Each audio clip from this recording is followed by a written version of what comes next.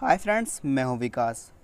और आज की इस वीडियो में मैं आपको बताने वाला हूँ कि आप स्नैपडील पर अपना एड्रेस चेंज कैसे कर सकते हो ताकि आप कोई सामान मंगाओ तो वो दूसरे एड्रेस पर आए। तो आइए जानते हैं। सबसे पहले आपको स्नैपडील ओपन कर लेना है और आपको वो सामान सिलेक्ट कर लेना है जो आप मंगाना चाहते हो दूसरे एड्रेस पे। इसके बाद यहाँ पे आने के बाद यहाँ पे लिखा होगा बाय नाउ। आपको इस पर क्लिक कर देना है। इस पर क्लिक करने के बाद यहाँ पे आपके पास पेमेंट वाला ऑप्शन आता होगा। तो यहाँ पेमेंट वाला ऑप्शन आएगा और यहाँ पे लिखा होगा चेंज डिलीवरी एड्रेस। आपको इस पर एक बार क्लिक करना है और यहाँ पे आप डिलीट करना चाहते हैं, डिलीट कर दीजिए। तो मैं इसे एडिट कर देता हूँ और यहाँ से अपना आप गली वगैरह चेंज कर सकते हैं, जो आप करना चाहते हैं।